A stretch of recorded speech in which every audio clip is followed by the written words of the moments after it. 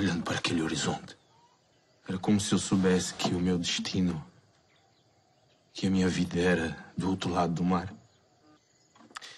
E quando eu cheguei aqui no Rio de Janeiro e tive a primeira visão, eu estava a tocar a mesma música na proa do navio. Era como se eu tivesse começado a tocar em Portugal e tivesse terminado a melodia aqui no Brasil.